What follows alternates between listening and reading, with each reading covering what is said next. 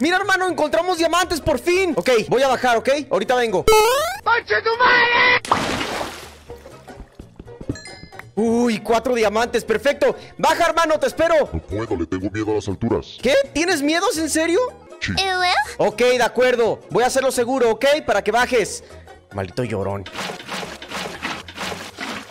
Muy bien, hermanito, ya seguro por todos lados, ¿ok? ¡Salta! Ahí voy. Ay. Eres un imbécil